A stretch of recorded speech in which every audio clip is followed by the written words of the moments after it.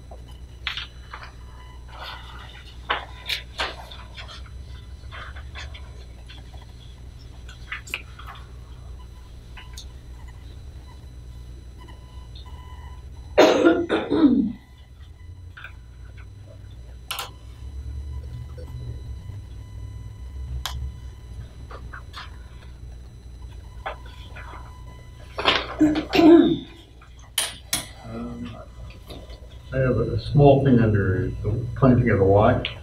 Page, Uh, so it's page three at the top. okay, He is still considering whether they should be underwire or shade trees. I I don't know if that's the, everyone thinks that's the right term, shade tree, as opposed to underwire tree. Or, or full-size trees. Okay. Maybe, I don't know, depends on how people interpret that. a lot of shade or little shade. it's really just what you said, Rob. So ha- you- if you can recall what you said. No, but I, I wouldn't say underwire or shade tree. It's confusing to me. Uh, what would you, what would you like the minutes to reflect, you said? Underwire or large tree. Okay.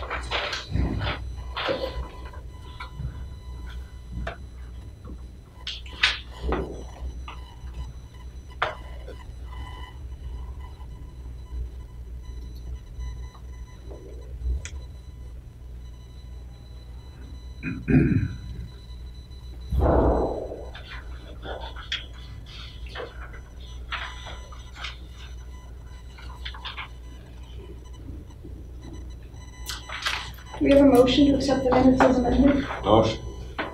Second. Uh, We'll say, uh, for the record, um, Todd gave the motion and Molly made the second. All in favor? Aye. Okay. Great, thank you.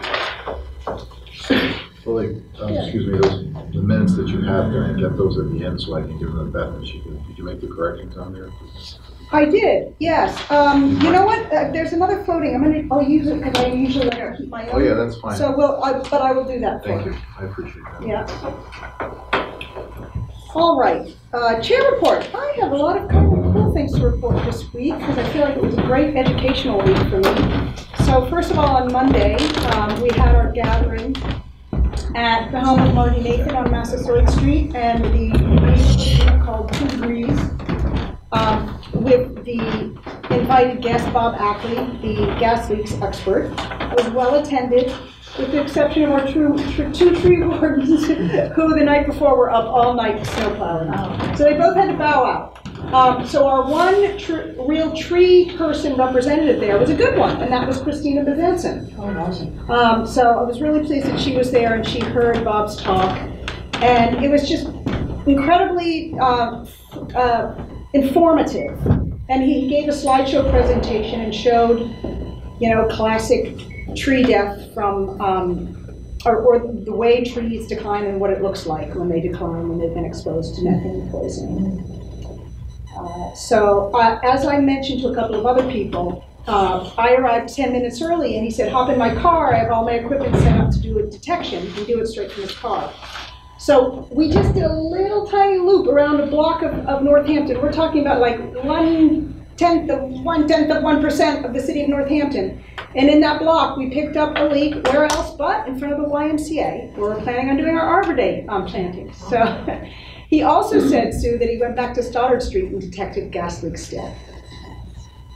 So um, all of this, to me, reminded me, or, or it confirmed how important it is, I think, that we be on top of, of monitoring, is- or we're throwing good money away, you know, in front of bad. Um, And uh, so he, you know, was forthcoming to offer support if we end up getting the equipment, training us how to use it.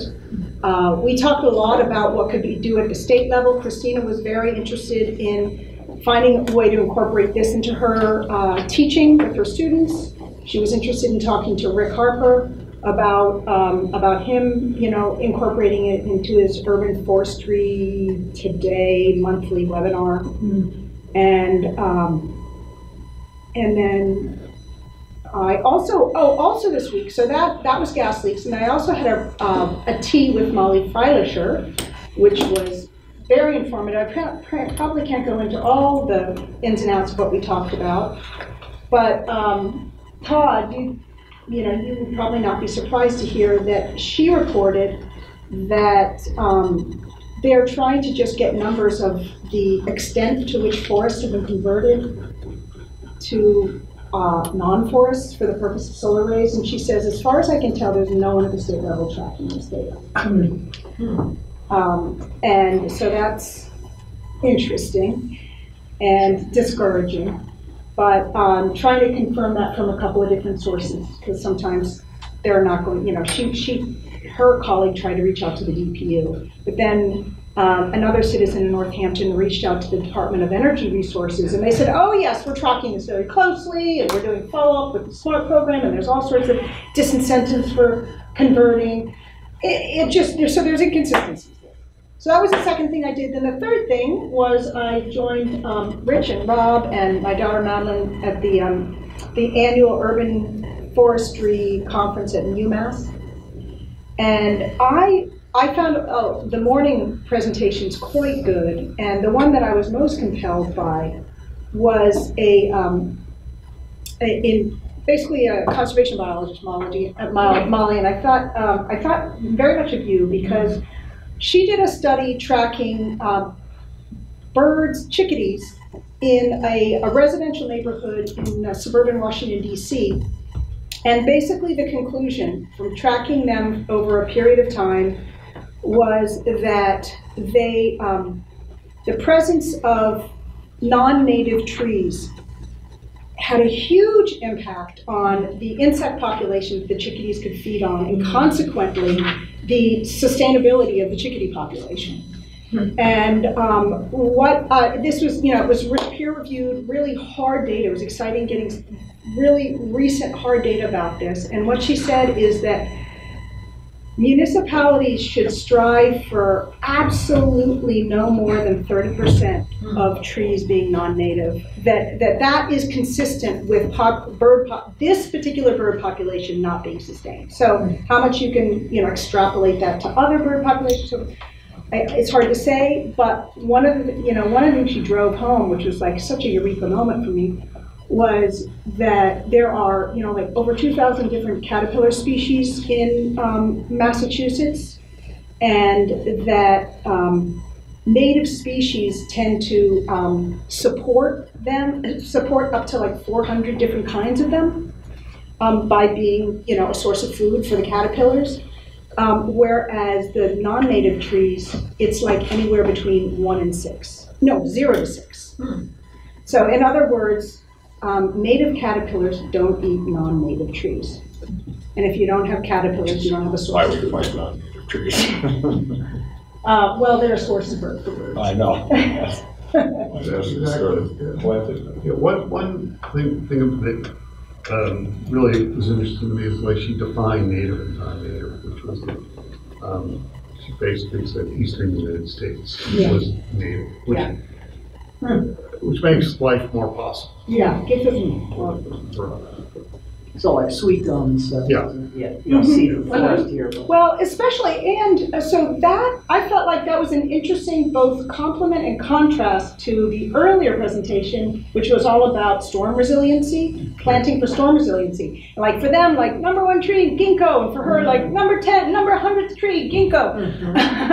Um, so it's like, all right, we've got to find a balance there, but, you know, if we don't have a, a healthy ecosystem, like what are we doing? Um, but uh, to that point, she was talking about how, um, you know, it's not enough to be in the same genus. Like she talked about cherry trees that were native that supported a whole slew of, of um, you know, caterpillar varieties, whereas if they were European or Asian variety, zippo. So, Wow, that's pretty cool. yeah, yeah, it was, uh, I, I've been to them before, and I thought these ones, these presentations were They were good. So Molly, you know what I thought is that maybe it would be interesting to you to, um, to look on an aggregate scale at my tree keeper and sort all the, the trees that we have by native and non-native and get a percent of where we are. Mhm. So just, using eastern seaboard, I mean, e- east, east, eastern United States as the. right, as the definition of native. And I don't think it's gonna be necessarily an easy thing to sort. Well, But, it won't be that bad once you figure out for each species whether it's native or not. yeah, Then it's easy.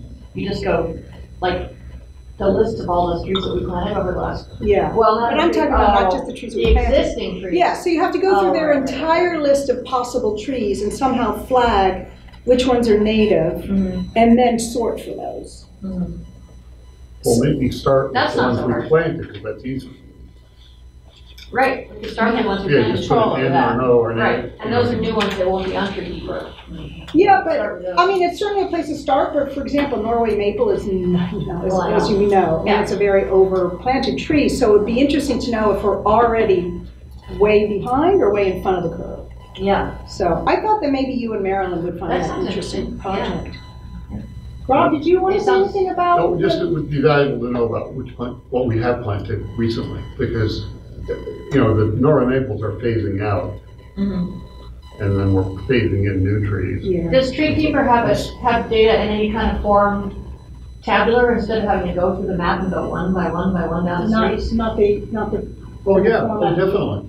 Is there a list of like how many Norway maples we have and how Oh. many, I have a, You a, know. a, a uh, Excel spreadsheet with the whole thing on it. oh, with all the data from tree keeper? Oh, perfect. You, you can, you can download it, you can turn it all in an Excel document. Oh, well, that would be pretty. You that would be mean pretty our, our, our version? The public version you can? No, Oh, so you did that for Rob? Okay, all right, so maybe you could. So give can I a- use that data to, yeah, um, you know, it's a year old or something, but that. close enough? It'll be enough for, Well, why don't you just get Rich to run Yeah. it again? and- I mean, all of you. I'm not sure how ea- easy it is to get, but, well, Rob, can you just send me the yeah, I'll just send you back? what I have. Yes. Yeah, and it says like this many Norway maples, this many Norway spruce, this many Well, sugar it just maples, says this many. Norway maple, and then you can, um, you can sort by species, right? Sure, Yeah, okay. you'll, prob- I'm sure, you, you do with spreadsheets all Oh, the yeah. time, you'll probably figure it out. Add- You could add a column, sorted by species, add a Yeah. column, Right, pull native, down, grab the handle and pull down N for native, or, Right. you know, or Oh, wow. Right. code them, make another, I mean, you will have to go through each tree and decide whether. it's- no, just by species. Yes, by species. Yeah, Yeah. no, I can, that doesn't sound too bad, send Yeah. send me the spreadsheet. Great. Uh, so that, yeah, so that's the learning I did this weekend. Did you, did either of you want to mention anything about the, uh, About that, that, that meeting, yeah, whatever about the conference? the conference. Uh, have to think of it except to say that it's very valuable to go to those because you hear the latest, newest uh, thoughts. But I did feel that almost everything in them uh, that came up, Rich is, is- and I've spoken about in some way. In other words, there were, there were very few things like, oh, we hadn't thought of that. I mean, we're, Oh, that's good. uh, you know, very aware that um, some of the species we plant are not valuable to insects. And been thinking about that. Uh, They're not, but we, but we weren't alone though, because City of Springfield, that first presentation Alex Sherman gave, basically mirrored exactly the same type of trees that we're planting. Yeah. And he actually, it's interesting, I think Rob and I are gonna try to go down there and actually meet with them to look at their nursery that they have there, to kind of see how it's set up, because their tree program is pretty extensive. And it's a really old tree program, it's been around for a long time. So, um, So that was very valuable for me because um, hearing Alan, Alex Sherman uh, speak, uh, he's taken into a lot of things we've taken into consideration in terms of how we're trying to plant, what we're trying to plant. So uh, the, the fact that we can then go visit, he's, he's been doing it for long, much longer. I think he, he's been there a decade. He's been there, and then before that, it was Ed Casey, who had been there for like thirty-five years. I mean, I, I my takeaway from that whole conference was that what we're doing, we're doing it right. For the most part, you know, I mean, there's obviously, we're gonna, we, we will always tweak what we're doing, but I think planting the proper species, the right locations, you know, spending the amount of extra time to do what we're doing. I don't know, it's. Young tree training. Yeah. I mean, it Yeah, that was definitely a That's- huge takeaway yeah. from Alex's, Yeah. uh, which is, you know, if you want to avoid, if you want to make your, your um, tree canopy more resilient from major storm events, young tree training really early. That was, yeah, that was great. And then the, the other thing, I mean, again, it just reinforced what, you know, I'd say over and over at this table, over and over is setback trees, setback trees, setback trees, and Alex reinforced that. And other people did too. I mean, it's just, uh, so it, it's not that we, hearing it reinforced is good because it's kind of, it's so easy to say, well, setbacks are hard to do relative. But, you know, you just hear it reinforced by other people on the lines, you, you have to stick to, stick to it.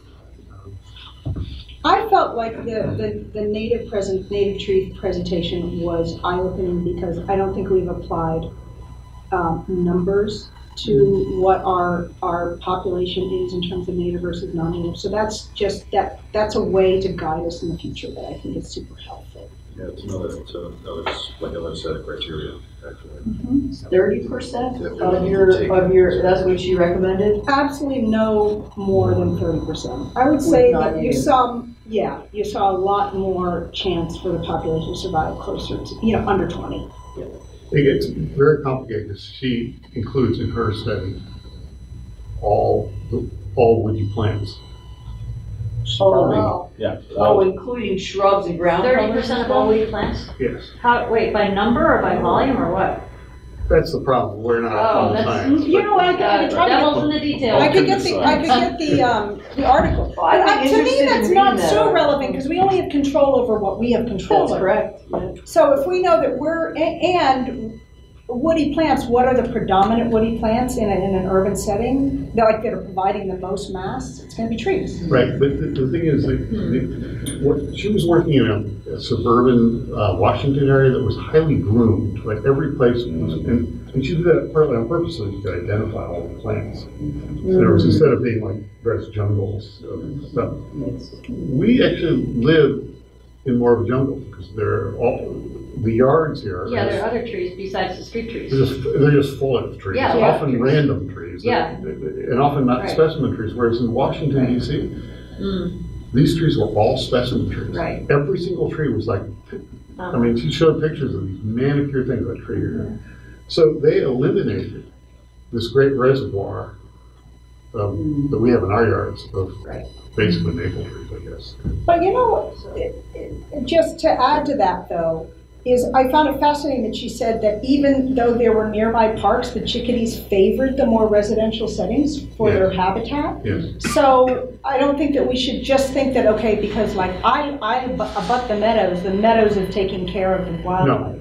Um, But, but, but the neighborhoods that we live in, like mine is kind of typical, or Sue's, um, are full of non, non-specimen trees, Other just regular trees. regular trees. And so the, the street trees Volunteers. there are are a fairly small percentage of the overall Northampton tree cover. So you just have to be careful, eh, like when you, how you apply the science, because it's not that straightforward. I would say like any kind, time when you're collecting data, you think about how is it gonna be used?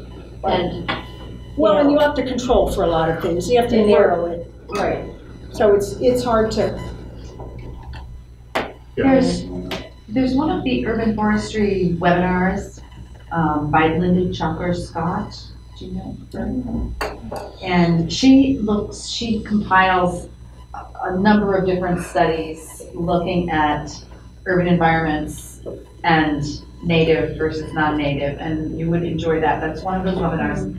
And then also the Tree Speak, or the Tree, not Tree Speak, the, the forestry newsletter that just came out. Susan Ah. Foster.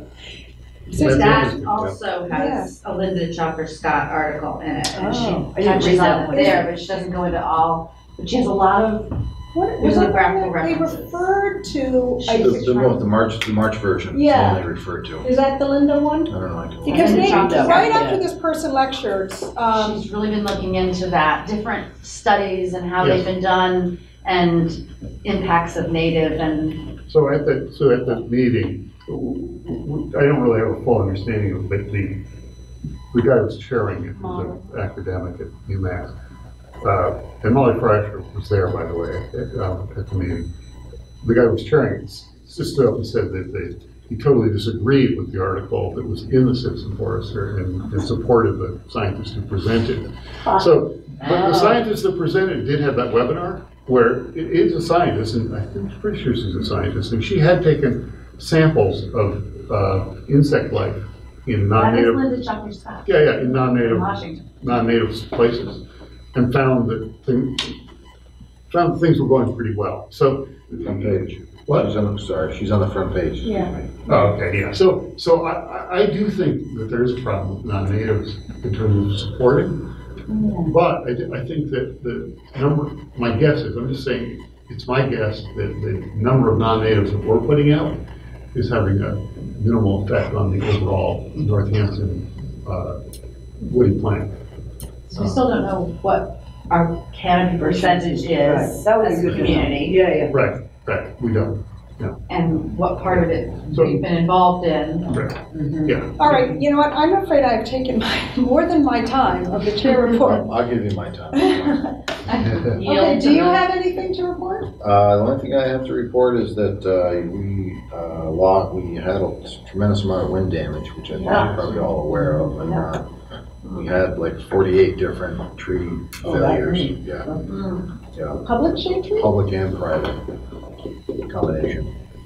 Mainly, uh, mainly pines. And the private don't come to your attention until they cross the public That's way. correct. The private trees are, when they go across the public way, then we have to remove whatever's in the public right of way, and then we have to go back and we clean up whatever we pick up that was in the street and we throw on people's lawns because it's just a cut and push operation at night. You're not really find that, you know, you're not doing a fine job at all. It was very, it was very windy and it was very actually scary. Yeah. I don't, I don't scare very easily, but, uh, it Yeah. was Yeah, it was great. being out there in the middle of nowhere and, you know, so basically from the center of Florence going west was where the majority of the damage was. There was very little damage downtown. This might be slightly off the point, but is it possible just to park like a flashing light and go home and go to bed? No, no, it doesn't work that way anymore, not at all. Dispatches, they're, they're calling us, uh, left and right, and we worked until one o'clock in the morning. And then we came back for seven, and they're still, still doing storm. And then you had snow, snow duty, several. And then snow too, yeah. So it's been a busy, it's, and we're probably gonna take us another week and a half to two weeks to finish cleaning everything up. Well, white pine was definitely the, um, the tree that Alex Sherman gave the frowny face. Yes, he did, didn't he? Oh, really? Yeah. That was, that was a storm, The not. storm, Not- yeah, yeah, that was the worst. Yeah. And actually, what we, we're gonna be getting, I think the, I'm gonna be getting an email that'll actually have all those presentations, so when I get them, I'll forward it to everyone, so you can all, Great, you can great. take a look Yeah, at I it. took a ton of notes, right? So what is it, white pine, um, multiple leaders, like, is that the problem, or what's the? It's, it's a weed- combination, to be honest with you, a lot of them were actually, uh, blowovers, blowdowns. The Sale. whole thing. Oh, got you, Yeah, got you, They got you. actually uprooted because Yeah. the ground is so, Yep. the ground is so saturated, Uh-huh. and it's not truly frozen because we, we've had snow cover for, Oh, so it So was. it's curious. Overall. So They do. if we had that level of wind, when the leaves were, Oh, when yeah. this industries were full of Oh, leaves, man. pines may not have stood out. That's true. right? Yeah. We don't know. No, I mean, I, I think that, you know, you have to take into consideration though, the, uh, the last time the wind blew that hard on, on Mount Washington was in nineteen seventy-three. So we actually beat 1973's record. So we, had- right now, this, that wind we had is basically record holding since Wow. they've been keeping records at Mount Washington. Wow. Now, Mount Washington's a little different, obviously, but, I mean, it- they, we have gusts going through here at 65, 70 miles an hour. Yeah, there some intense. Yeah. Crazy. And that's, that's hurricane, you know, seventy-five mile an hour is mm-hmm. hurricane, category one speed, so mm-hmm. that's, you know, it just, it's not, it was not fun. Mm-hmm. But it's, it is what it is, I'm glad it didn't happen when there was leaves on the trees, but I'm sure we'll, we'll find other damage. with snow One, rise. one, one other thing against the Norway maple though is that in his storm assessment, he didn't think Norway maples were very good. No, because they keep their leaves longer. They're Arcadians. Witness the Halloween. Yeah, snow yeah. storm. Yeah, Well, yeah. they're also brittle. Yeah.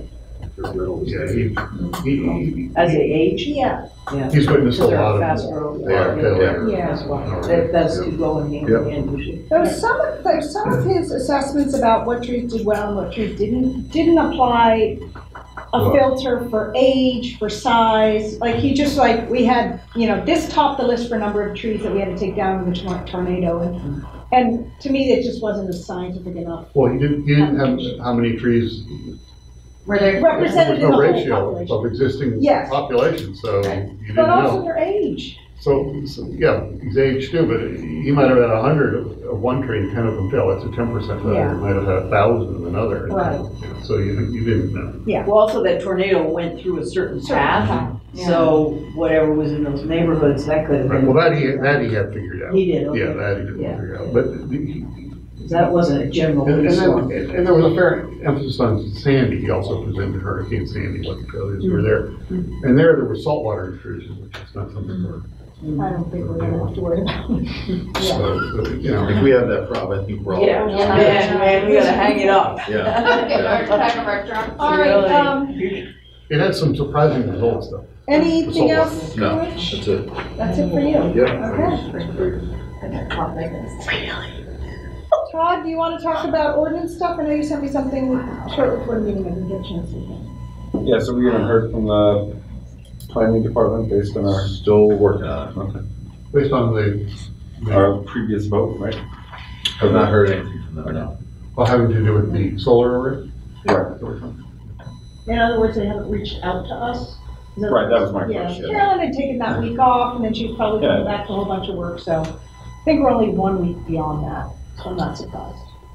Um, and then, uh, so I, uh, was trying to put together our public shade tree protection component, which would be inserted into the existing, uh, trench and driveway permit process.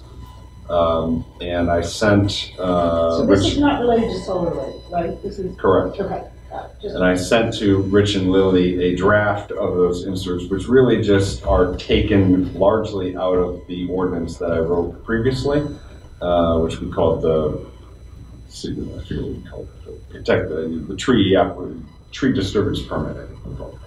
Um, And uh, what I would like for the next steps is for the city attorney to review uh, the direction that um, I was going before we go too much further uh, and just get some feedback on, you know, what are the landmines that we can't touch? Is this the direction that we thought we were going to go?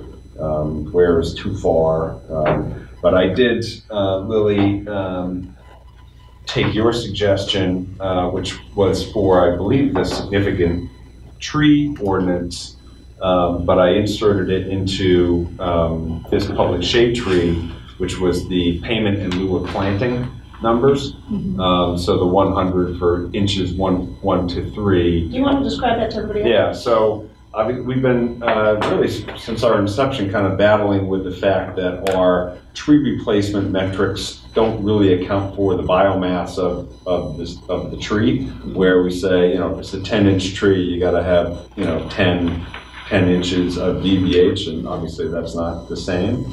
Um, And also struggling with, you know, these big trees are, have a tremendous impact on a community, and you take one down, and it really has a big, bigger impact. So to kind of, in this case, to scale up uh, the payment in lieu of uh, replanting. And we can look at the replanting calculation too. So instead of one, one inch per one inch, we can look at that. I didn't have time to deal with that, but I did, in- for the payment in lieu of, I said that uh, you pay $100 for the first three inches.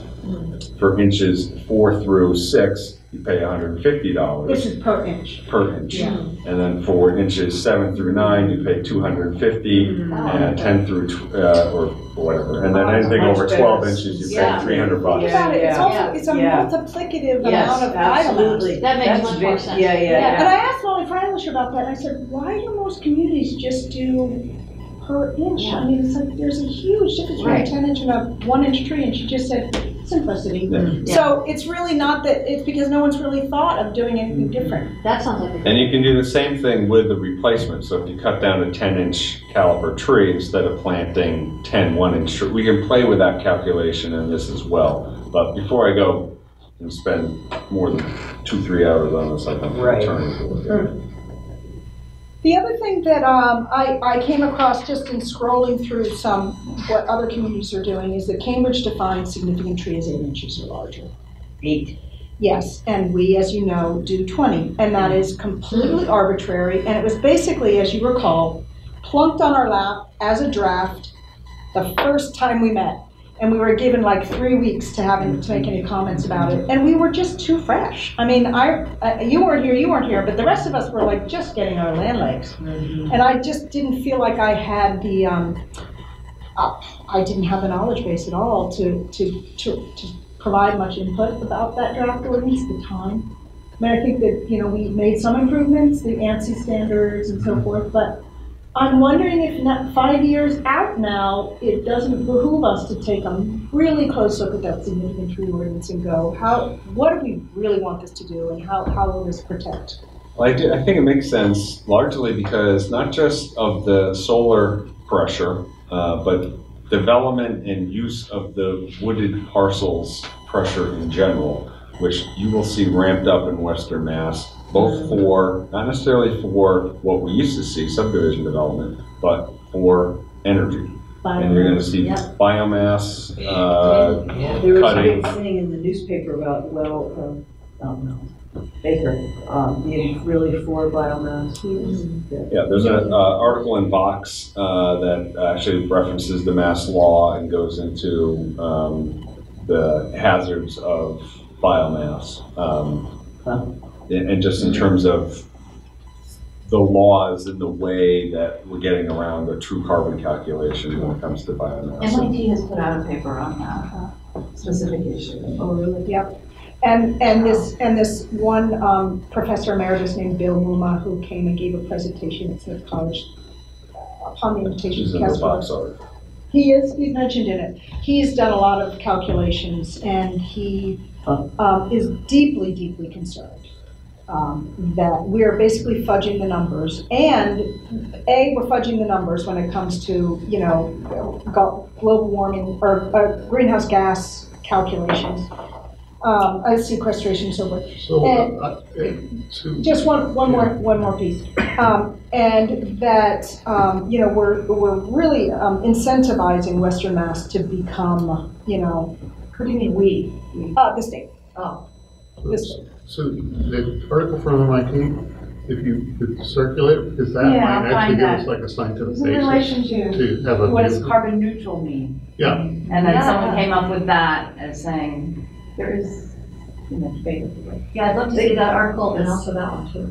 Yeah, but- looked at, oh, sorry. I was just gonna say, but I think it does make sense to take another look at the significant tree ordinance uh, with that in mind, since it was originally put forward basically to protect against certain types of subdivision clearing, but I think that's less of a concern in western Massachusetts, uh, given our economy here, than, you know, what, what, we're- what we are seeing happen.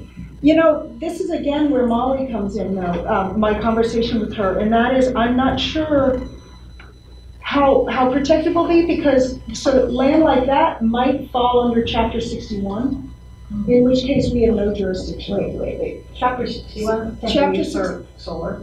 Chapter sixty-one could be used for timber, Oh, that's what Oh, chapter timber. sixty-one is for. Biomass. oh, you're talking about biomass, not Yes, solar. yes, I'm talking about biomass, but we're talking about like conversion to energy. Um, Not just solar, but also cutting down timber for, for biofuel. And um, that really falls outside of our jurisdiction, like there, there's, Yeah, there's no site plan or special permit for cutting. no, they don't do anything. Because it falls under, so significant tree would- doesn't affect that. not Not if your, not if your land is in chapter sixty-one, uh-uh. Right, so, so there's no way we can modify our. Chapter sixty-one covers, But for, for just cutting, yes, but, you know, there are other ways to, um, you, you could, you could build a biomass facility on a property, and that's a permeable right, process, but no, you can't regulate it. correct. That's. So, actually, right now, solar is hard to regulate and Latin, for those, they will have legislation that makes it work. There's a lot, But, a lot of damn things. Think money. yeah, well, the, the, the solar one is almost accidental, though, because it was designed for rooftop arrays, with the legislation. Protect rooftop arrays, so it was actually kind of a good thing probably when it happened, sound of it, you know. There've been a few articles to the exact, recently about. it. Yeah, yeah, Yeah. Yes. Blasting the Force. roofs, just what we've been talking about. Yeah, and there was one that, that cited um, pseudoscience. Uh, So, because I followed his link to the article, so there was one letter to the editor that talked about how um, solar panels produce a hundred times as much energy a- as a stand of trees sequesters. Like, Based on what? Like, what are the parameters of that study? And, and, and when I followed the link, it was to a pro-solar company Um, that was using cal, very rudimentary calculations. It was not, you know, done at a, by researchers at all. There were two subsequent letters. Yes, that were positive, that were, that were After good. that I know, I know, yeah, I, Yeah, there's been a lot of action on solar and trees and the, probably four letters back. well, I, s- I- when I got, when I saw that one letter, I sent, I, ca- I called out for some support or countermeasures. All right, so, um, anything else about, so you, you're gonna, you two are gonna connect about making a appointment with Alan. Yeah, and we'll make some comments. Excellent. Look forward to them, sir. We will go. One other quick point about the biomass thing, I don't know if they pulled this in, but they were thinking about that as a heat source for our campus at one point. And, um, a lot of times they didn't figure in like the amount of tractor trailer trucks mm-hmm. that moved that stuff around. It would have been three tractor trailer trucks a day, a day into our campus, little state campus, to be able to feed that. It's like a mini factory. Well, Yeah. well, and, and that, I mean, we all know trucks aren't the most, you know, as far as just making sure that's in the calculations. Sounds like. So many things That's are what they, that's, that's what they said, the Yeah. other day, I don't know. That seems high to me, but. Well, for an entire campus, I mean, it was really gonna feed the entire campus. That's what, that I was mean, what It's I'm it's trying not to like do. coal, it's not terribly energy dense material. All right, so, um, I'm gonna move us along. Chips, chips. Arbor Day preparations. I have something I can, um, show folks, and that is Madeline's been working on a brochure. I emailed the principals, but they said it was too late, so I'm pushing for like, what do we have to do to get this set up for next year? This has been lagging for years. Onto Madeline. Um, okay, I don't know if people wanna huddle around and take a look at this, uh, because I can't, I obviously can't put it up on a screen, but I, I- it's just, she's working on a brochure, Karen's helped her work on a map, and the map is gonna be a little bit more, but I would actually love your feedback, because I think making sure that she keeps it simple, but gets the right information in. So this is, you know, this is a trifold that has two parts. One is a cover, some explanation, and the other is the map. It's almost the Tree Northampton logo. Oh, is it? Well, we just pulled it off of, uh, So probably we did Canva. That's the same one. Actually, this is a, this is gonna be a placeholder too, because Maggie wants to draw, draw a tree. Oh, So- so, where, where are these brochures gonna go? So they're gonna go with, uh, Senior Center, City Hall, Forbes Library, that, Oh, yeah. tell people And then in about. front of City Hall, North. Yeah, tell people about Tree Speak. So this is, this is what it says. It says, welcome to Tree Speak Northampton, a collaboration of the Smith College Botanic Garden and the City of Northampton. We selected five special trees for this tour, learn about them and their contributions to our community. Then it cites the five trees and their locations. And it says, follow the map on reverse side to take a self-guided Tree Speak tour. Here it says how to listen. On each tree, you will find a Tree Speak label with a QR code that, when scanned by a smartphone, directs you to an audio recording about that truth. And then it gives you some bullet points. Download a free QR code reader from your device's app store. Open QR code reader on your device. Scan QR code with the reader to access the Tree Speak webpage. Press play on the audio to listen. I need all those instructions. I don't know how to read a QR code. It's good you have them in there, yeah. Yeah, yeah, I don't I wouldn't them. know what to do either. I've Yeah, that, I think it's good. I Okay, see them- all I see them all over the Wow. list. Screw up The so they trees, look at it. use- Listen, Who here has Oh, ever the done trees that? for the Very trees. cool. Oh, listen, Some people- comma. yes. Some Okay. people might not know I what a did once when QR it first came out, and I'm like, oh. So, Oh, you know what? She was, this is a placeholder probably for where For- she's gonna have. We a are What it would look like. for a QR code. Actually, it'll be a sample of the label with the QR code, probably with like an arrow that Okay. says QR. That's good. Yeah, yeah, good.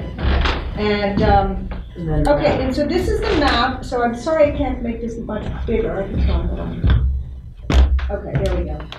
Um, this is gonna, there's, this is gonna be revised further.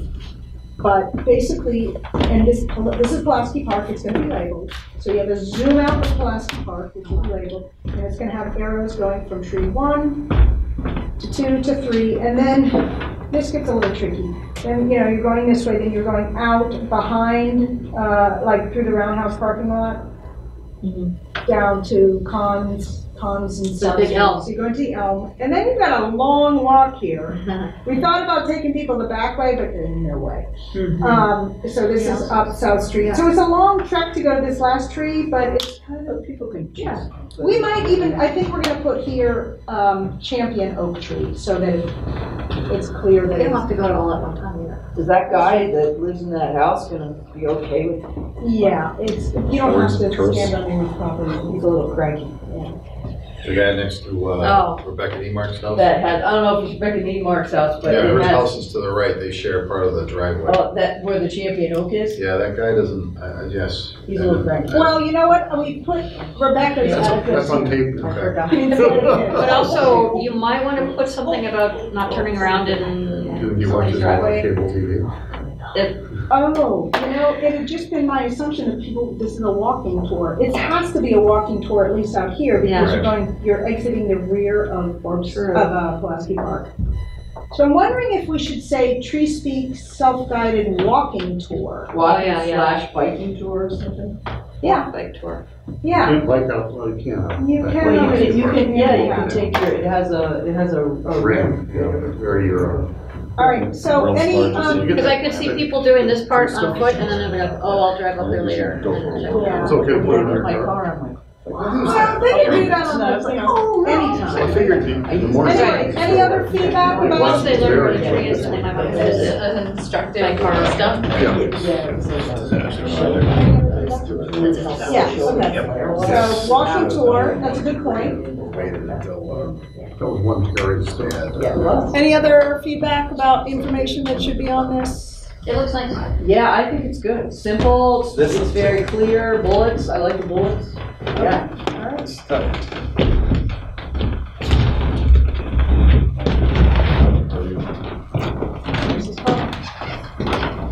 Okay, so that's, uh, Arbor Day. What else we got at Arbor Day that we need to think about? uh, Marilyn's got all those letters that, um, Yep. she was gonna print, and then we were gonna do a big letter writing thing. I sent her the updated spreadsheet, I added a couple of landscape contractors that I saw or remember, and then I, actually, every time I go around town, and I see someone doing work, I try to take down their contact information, so we can just add it, because there's people coming and doing work from all over, everywhere, it's not just Northampton, it's Hampton folks. Yeah. I, uh, I did, Oh. I did order the, um, the whips, so that's done. Um, When do, when should I have a press release out? So if we could, I think, I think you should get, if you could, we, we should actually get the mayor to have his press release, like, released the Monday before Arbor Day. Last year, I think we were a little late. Oh, I don't think we were a little late, I think it just got released a little Oh, I later. remembered it, it, it got, I think it was vacations or something. Yeah. The So- Monday, I just should probably, before Labor Day. so I should probably send it to his office like the Wednesday before. Because it takes him a couple of days to, Yeah. to look at it. If not, if not even sooner, Lily, if you can. Well, here's, okay, so Wait a me, minute, you, you don't have the sites, so you can't send, they have the sites, so don't. No, we, oh, okay, so that's kind of, that's kind of the next, uh, subcommittee report, but what, yeah, well, so just, yes. we I'm just talking about the timeline for, for the press release, because the other, I don't know that we're gonna get into those kind of weeds for the press release, to be honest. Well, to tell them where? I mean, I, you mean, by then, won't we have our volunteers lined up for the planting of the trees? Oh, yeah, I mean, by then, we're gonna know exactly what stock we're getting, where we're gonna be. Okay, so I'll be able to plug that in at the last minute.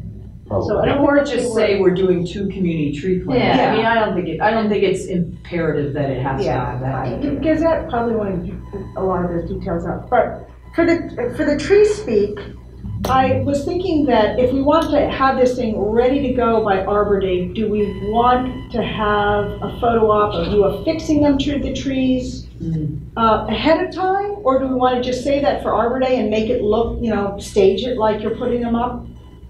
I mean, I think you're gonna be busy on Arbor Day. How about the whole week? Yeah, it's gonna be a busy week. So I'm trying to feel, I'm just trying to uh, count backwards, like, Right. at what point do we want to put on, put the labels on the trees? Before Arbor Day. Personally, I think we should try to do as much as possible beforehand. Like, So the week before, maybe? yep, there's all the staging of everything needs to be done, because it's just a lot, especially if we're gonna try to tackle planting two different locations. There's just a lot of logistics.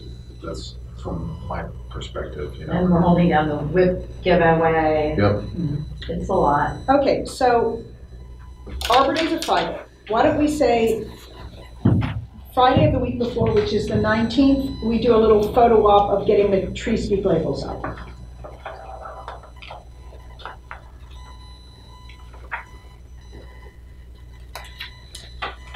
Uh,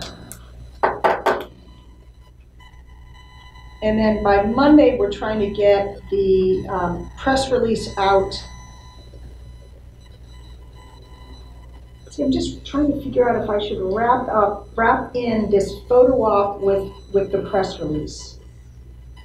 To kind of generate some excitement about Arbor Day and this tour. Do you want to send photo with, a photo with the press release? The packet? Yeah, but I know the Gazette, they won't, unless they bring out their own photographer, they'll rarely, Or use somebody else's so it's just not high enough quality. Uh-huh. Okay, so maybe we'll do the press release that, and, and the other thing that Friday. Okay, I- I'll, I'll figure this out. Is there anything else, any other balls that need to fall into place that we need to know about? You have a group of seven people, you said? Yes, Seven for the twenty-seventh. yeah.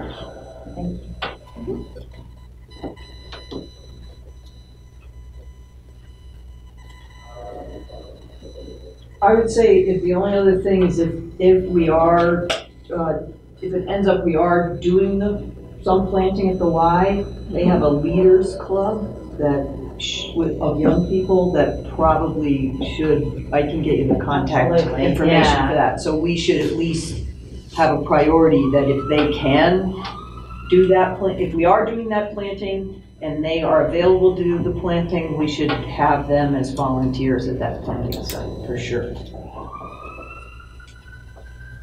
And I have an email that I can um, tell you the name of the person who's the um, head of the Leaders Club, the adult who's.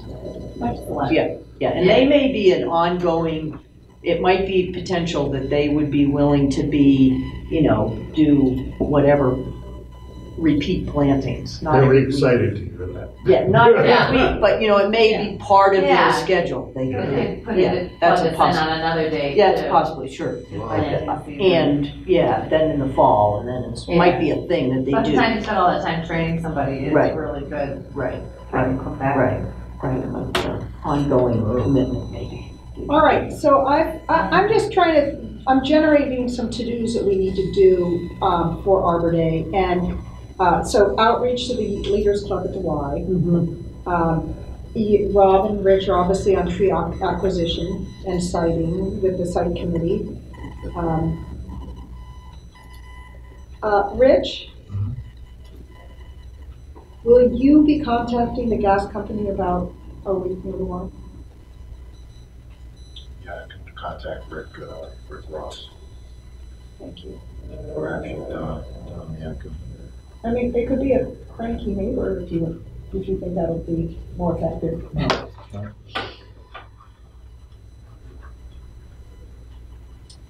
Uh, any other to-dos regarding Arbor Day that we need to be thinking about? I'll ask Alicia if she wants to do materials again. She's, in the past, she's done, buttons were a huge hit. People loved, she did these Yeah. buttons with trees on them, different kinds of trees and just art of trees. And actual leaves, some of them just have leaves inside. And she's done educational pieces. She did coloring with different types of leaves, coloring sheets, little cards. And then she also did, um, I forget who did all of the printouts about the tree themselves. I. Oh, right. Those were nice. Those corners. Was this at the, at the planting, Sue, or at City Hall? City Hall. Oh, okay. Yeah, materials for the table. Mhm. People like to walk away like a little button, they particularly like the buttons.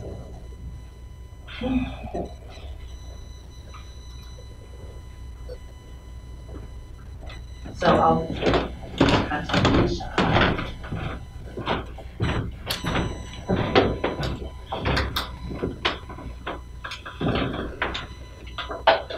All right, I think we're ready to move on, unless anyone else has anything related to Arbor Day.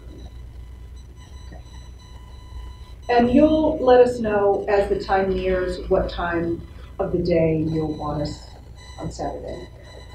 Is it roughly gonna be like eight to noon kind of thing? or- For the, for That's- Wicked Way or the That comes planting? from Rich, but I'll certainly let you know, um, usually nine or eight or, For the I whip, think we the started early. the whip planting. giveaway? No, not the giveaway, the I'm sorry. planting on, s- we, there's a sheet of seven of us. I I mean, I think it really depends upon what we have available for nursery stock and what we're tackling. So I mean, you know, the earlier For, for DPW staff, the earlier the better, actually, Ah. for, you know, logistics. But if the, if the trees are already there and we need limited staff, we could go a little later, but again, it depends So upon. when you say you're about eight AM? is that- Eight, eight is, yeah, I think that's when we started at the Gazette.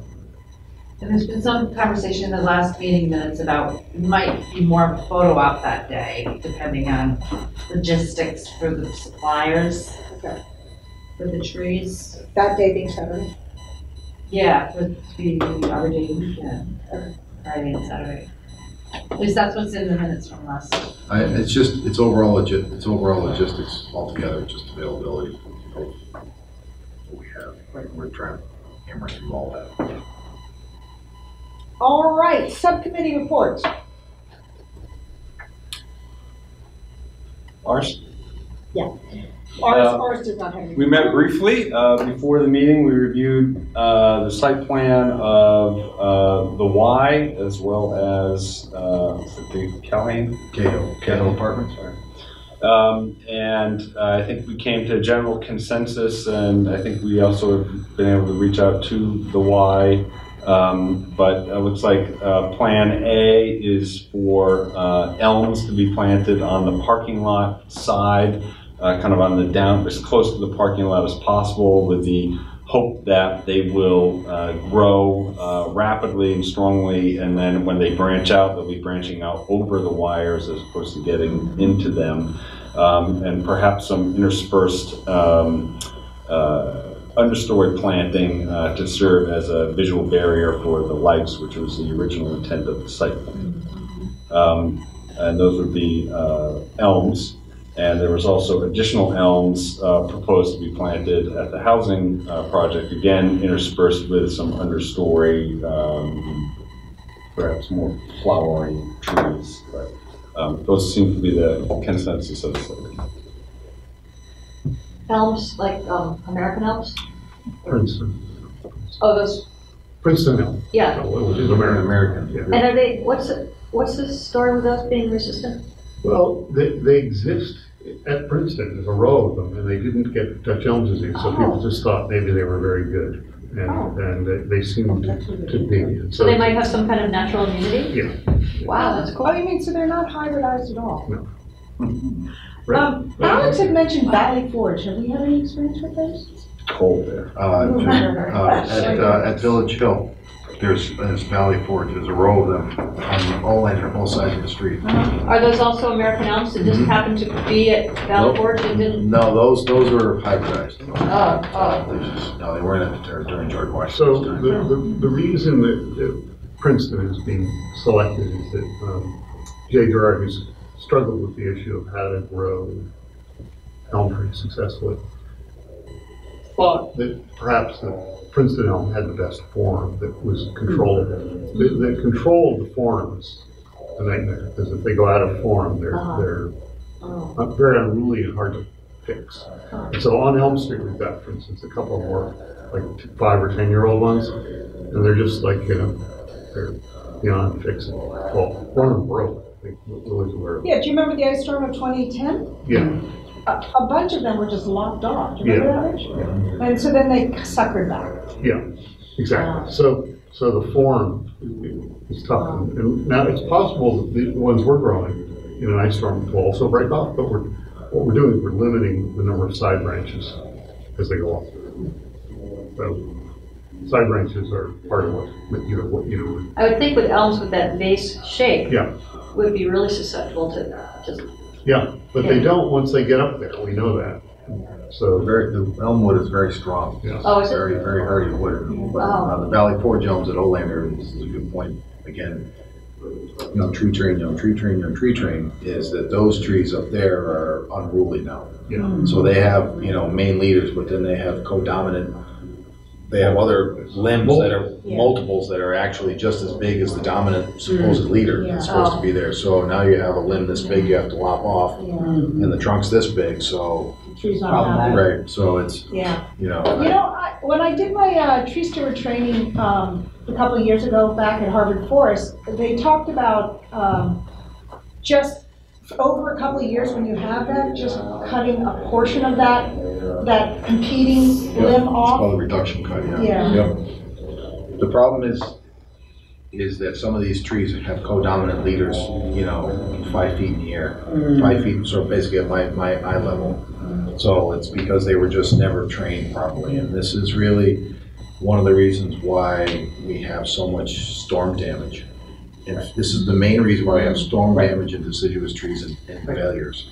Is because of, that's what Alex talked about. Mm-hmm. It um, must be that back in the day, they just, they knew to do this, because all of those mature elms that we inherited back in the That's what I day had these perfect single Yeah, dots. did they train those? They must have. Oh, yeah. They must Oh, yeah, have. there's a, there's a Somehow photograph that Rich had, or is it, Jay showed it to me, of someone planting that- an American elm. And it is a root ball, pretty good size, with a stick twenty feet with a few little branches on the top. Yeah. When they were planting. Oh, Yeah. yeah. So, So yeah, they they, must have they had trained. ways of doing it. Yeah. So e- e- the Princeton elm may not be the, the answer, but it's the best answer that I think Rich and Jay and and including myself come up with. I mean, it doesn't mean we have to stick exclusively to them. We've I planted like, I like the idea of Princeton. We've planted a dozen of them already. Yeah.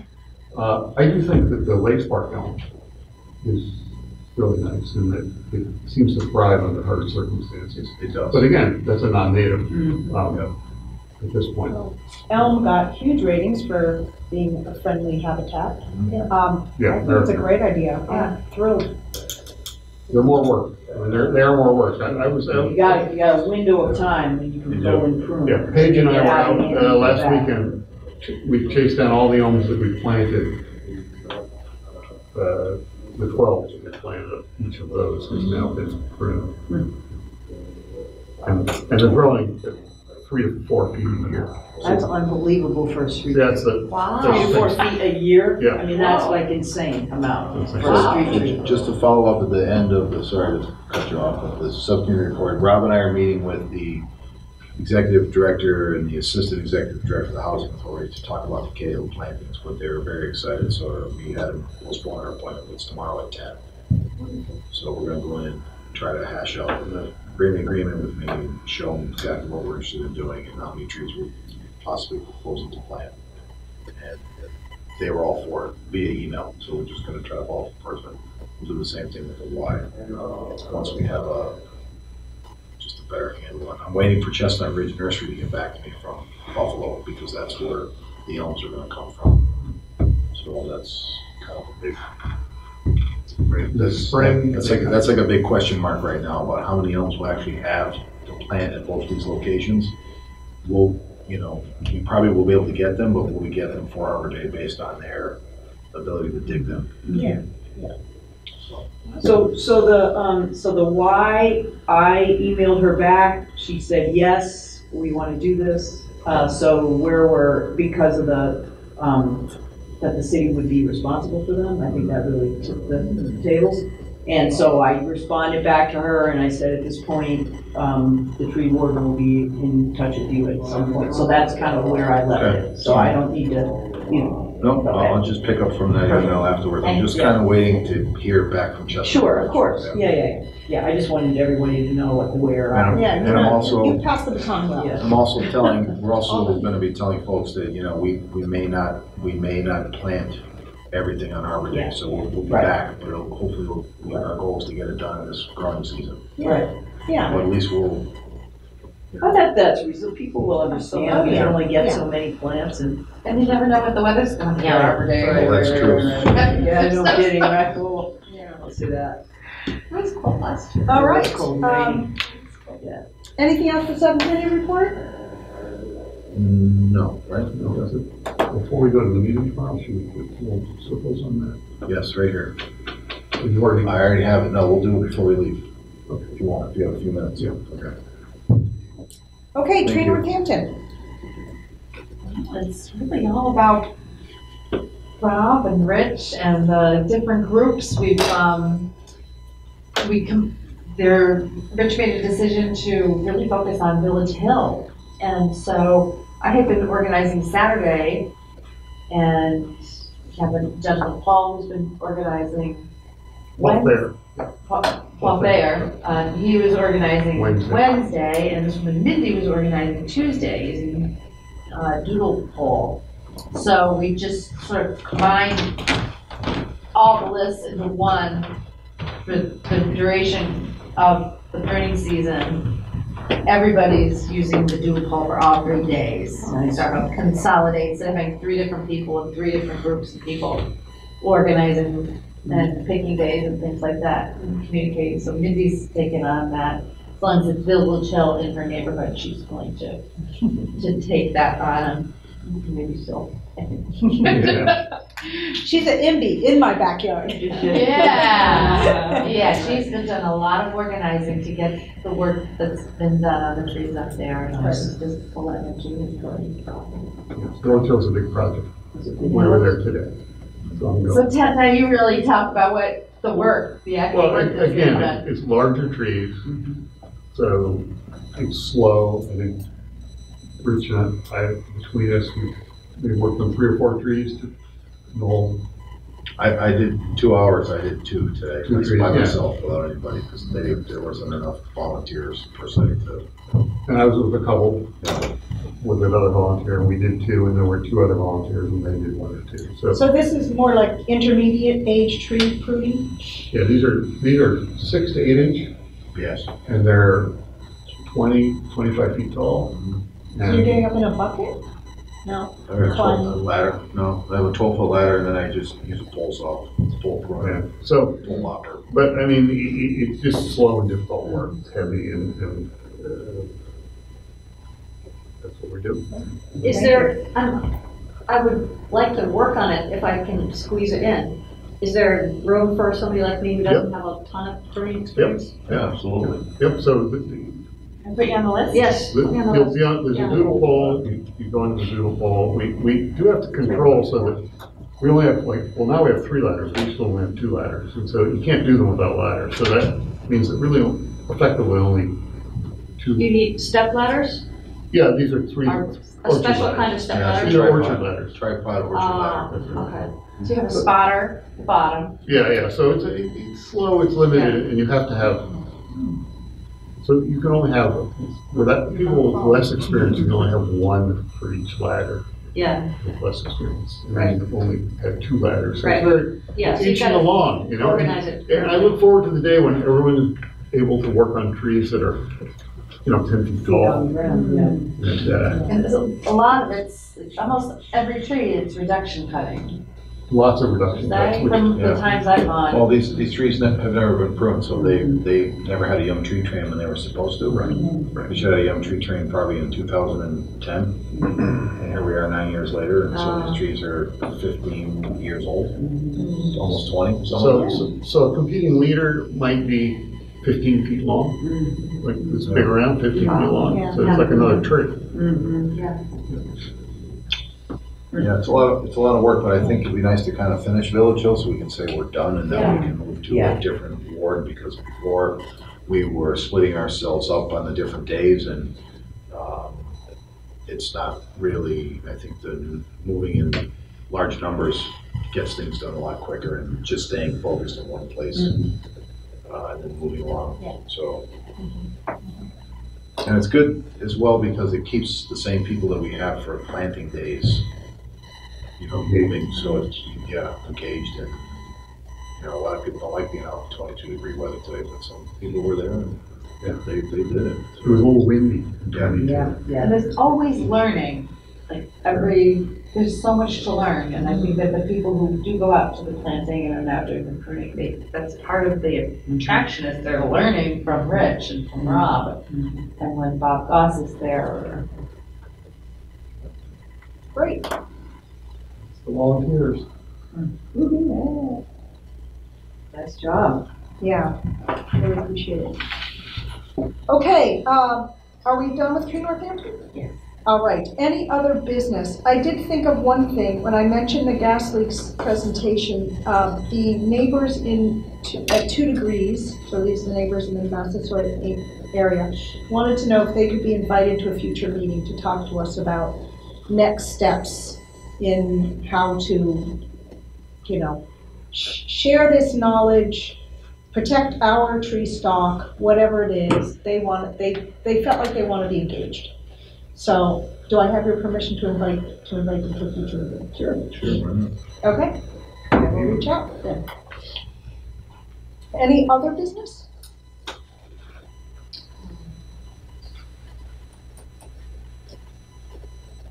Okay, to-do list. Well, Rob is gonna send me the um, spreadsheet and I'll start working on that. And you already have all the trees we've recently planted, so you can do some sort of Yeah, combination or work on it. comparison or whatever. what Yeah, I mean, I guess my, my other thing is I don't wanna be like doing all this analysis and if it's not something we're actually gonna use. I just, I. I, I will definitely use it in my. So you'd like to know of the trees that we planted recently, um, which ones have Well, come just know what we have, but Of also what course we're we're not doing. Yeah, what we're doing also. I think it would be interesting because people, that's one of the most frequent questions we get when we're planting trees is how come, you know, it's not necessarily all native trees? And to be able to say, well, these are East Coast trees, or just to build our relationship with Yeah. other people, like, I think it's valuable. Yeah, and to be able to say, you know, we're trying very hard to keep the non-native within a certain ratio of native. And, you know, based on the best science we can get about what supports a, a healthy bird population, chickadee population. So I- I've been keeping track this in a very informal, just kind of almost in my head. So actually have, knowing what it is, especially for what we're planting, especially that, um, what we already have, got some value to. Um, I'll start that. You know, you- this whole thing of deciding what to plant is got so many different. I know, so many, It's not like we're gonna use what you say, like, okay, now we know what to plant. I know, there's so many other, so many different You factors. give us a- so many factors. Just like the tree inventory, kind of give us a Yeah. place, where do we stand? And, and are we generally Yeah. moving in the Yeah, right what are we direction? I mean, like, if one aspect is, goes right up and, go- you know, south, we need to pull it back in. Um, you know, I missed the afternoon, uh, presentation, which I thought was an effort to try to bring all three of the morning presentations together as like, okay, now we've learned what's good for resilience, what's good for, um, you know, climate mitigation, what's good for, um, for biodiversity. Now, was there like, okay, so what are really, like, what, do we distill down to a top X? It, it was a, it was a beauty pageant. I couldn't have described it any better way. That's too funny. Yeah. They were Well- all sort of vying Well, what for, happened was that he just, he just, there were many people who had input, and they, and they, they were discussing the, the, the value of different trees, Yeah. and also trees that they thought were problems, that the the white pine might break off. And so they all sort of threw that, he just took all of their, um, their, what they liked, and then if a tree got a vote, then they get one vote, they got two votes. And so it was like, it's, it's, a, a lot of it was like the tree du jour too, because there are certain trees that come up that are like uh, newest, latest tree, like I got an idea. And so like, I think the, the top tree was, I think, um, uh, Kentucky, was it Kentucky coffee tree or no, or was it, um, it was, uh, it, wa- it, it was a tree that you don't have my notes with me. It was a tree that, they see how Frank has parked in front of his. Oh, uh, Turkish building? uh, no, uh, uh, that you'll have, uh, paper mark, uh, no. No, River, river birch? no, no, it's a tree you haven't thought of, anyway. The- Black locust. What? The one that, that, that the, the guy who came here and said they break apart, you gotta look out. The Oh, hair? God, That please, was don't go No, back. no, no. That one was like tanked. I don't remember, Anyway. it's all in my notes. Anyway, it- the, the point, the point is that, And that, habitat. that, that it was, it was not a serious, it was not a very serious, uh, it's good because we have a list of trees that other people are considering. Yeah, yeah, yeah. But, but, um, you know, way up on the list was uh, ginkgo, number two, was voted tree. Um, It strikes me, I mean, we, you know, we have a very good start with our um, tree guide, which lists, right, the attributes of each Mhm. species. Um, But what we haven't done is kind of clump them by attribute and, and then be able to mesh them up with site considerations or macro goals of the city, which I think all, you know, the, the goals whether we're trying to overall achieve a thirty percent number of either a species or, you know, a native or what have you. But then you have your site conditions, which you could absolutely need something that's salt tolerant or something to deal with the stormwater system, you know, a green infrastructure project. And What we don't really have, other than our ad hoc knowledge, is a way to say, well, here's, here's our overall goals overlaid with the site conditions, which gives us these ten trees to choose from. That's a sortable software program. Yes. Yeah, which is, I just said, it's, un- it's unfortunate that whoever was putting this on did. do Didn't that. offer something like Not that. that. Yeah, I mean, that sounds like a program. Yeah. Yeah, yeah, I mean, uh, there are so many different species and so many cultivars and uh, so many different requirements. Right, right, no, I agree, but it, and like in our case, I think we can, we can do this because we have already s- established a set number of trees that we'll accept in the city, right? In our, in our tree guide. Yeah, a lot and all the cultivars. Yeah, but each one, we've identified as to if it's salt tolerant or, you know, we've established, we have the, the foundational basics for what site conditions, you know, this tree would meet. And I, I think some, even some more macro goals of, you know, is it an edible species? Is it a habitat supportive species, et cetera? So I think we have the basic foundational data to begin to to make a, a decision-making tool that we could conceivably use and pass on to like someone future generations. must have invented that, you would think, because trees Woodward. are. I think Well, no, a I reason. think, I think iTree, so I, one of the iTree suites probably does that, but it basically is, you plug in your soil volume, your site conditions, your hardscape value, and then it tells you, you know, what, what is, I think what is available, but I, it's not based upon what Todd is saying, like, you know, these ten trees will work in this, that are salt tolerant, these ten trees will work in this, uh, you know, soil volume area, these ten trees will work in this, and then, you know, we don't have it sorted that way in, in our tree guide.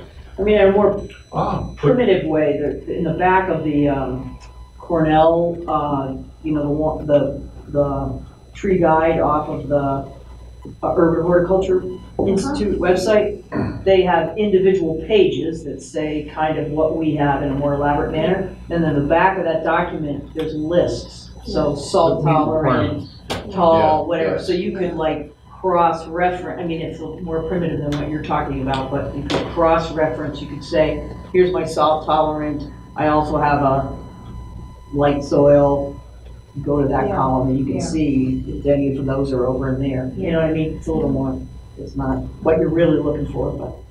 Yeah, I think there's a reason why the program doesn't exist. It's a good reason for someone to invent it. I think, Yeah. I think it's, Sure. will be a fabulous tool.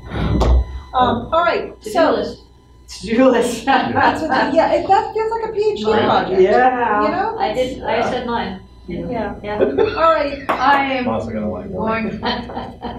I'm going to contact Jen to get the name of the adult who um, coordinates the YMCA youth leaders. Talk to Alicia about Arbor Day. And then get an Arbor Day email out to um, anybody who's ever shared their contact information.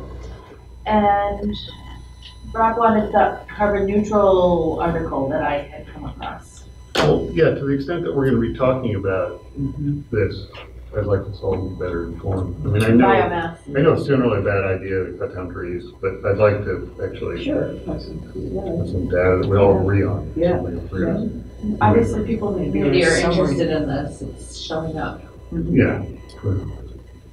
Yes, there is a subcommittee in the Climate Action Now group, it's mm-hmm. called Food Forests and, wait, Farm, Farm Forest and Food Systems. Right, something like that, yeah. And they're deeply considered. I mean, basically, everyone who's involved in climate action in, in Western Mass is freaking out Huh. over the conversion of forests to biomass primarily. And very far below that, solar conversion. Hmm. But biomass, they're freaking out. Hmm. Well, Okay. So the, uh, I think the only thing I have is to, I was gonna send Sue the Y Leaders name of the, of the Leaders Club. And I'll send the Excel sheet, and thank you ahead of time. I I hope it's not too many zillions of hours. Well, I'm not gonna do it all this month, I'll just tell you that. I'll start on it. Yeah. I'll It's a start. long-term see how it project. goes. This is not Yeah, something this we is- have to. It's gonna take a while. Yeah, yeah, yeah. I'll just chip away at it. And Marilyn might want to be involved, who knows? I, I think of both of you as conservation biologists as being kind of fascinating. Um, I'm still working on our tree orders for, uh, waiting for information from tree orders. Uh, got to, uh, contact the YMCA once we have more information about what we're gonna have available. But I think I'll probably contact them anyways, just to let them know that I'm out there and I'm just. Yeah, I waiting. probably would, because it's been a, I I would appreciate that. Yep, no, I think that would be good, I'll make Because I note of think, that. um, Uh, meeting with the housing authority tomorrow to follow up on our potential site plan for Gale Apartments. Um, I did not reach out to Marie Westerberg yet, um, because I just, I, I'm just getting a little hesitant, only because I don't wanna overextend ourselves for those two days. So I feel like the, the senior center project or the senior center plantings can be folded in somehow, Mhm. some way, so. Or they can wait till the next year, or, you know, whatever. Yeah.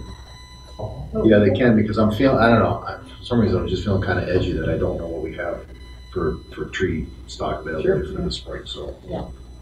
And, uh, I, I don't know, I, I guess I gotta type the minutes too, or something, no, I. I- Oh. you don't. No, no, no, I- no, no way, I could, Uh, Gasly, uh, uh, Gasly, thank you. Yeah. Uh, Oh, a gas meter. I'm gonna talk to Don about ordering that gas meter. Right. That's the other. Tell somebody where you, you can find the link yourself. Yeah, well, we can actually just test, we can actually test the soil, test the Soil, soil yeah. before we go to plant, yeah. Yeah, it's a lot, it's a lot like the, the Oh. tool you saw in that video. Oh, The little probe. Do we need to be, whoever, be trained to use it? Good question, all stuff I have to find out, I The don't know. manufacturer may provide instructions, Does it that doesn't would look be- like rocket science. I would love to Hey, if do I that. That's the if I beginning of a can- whole new project. Well, I also think that when If you I can operate first, this, when you first use it, I would very much like to do a, uh, a press release Sure. and and generate some interest about it. I'd love to learn how to use it. Yeah, me too. Yeah, we might- yeah, we got, Yeah. we got. That Oh, here, here. I'll make a little go. cake and go Right, around the it's up. city. Exactly. And your last item is you're gonna work with me on the, uh, trench permit modifications, so we can sit down with the attorney and have a party. oh, yeah. Good. All right.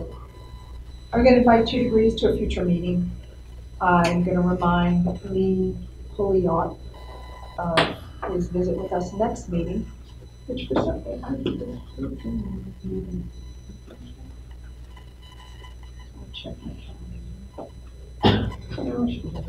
Okay, uh, I am going to work on the press release at some point. I'm gonna help my daughter Madeline get over the hump with this brochure.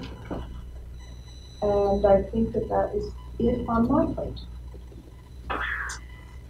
We need a motion to adjourn the meeting. A motion to adjourn. Sue motions to adjourn. Second. Molly seconds. All in favor? Aye. Okay, meeting is adjourned.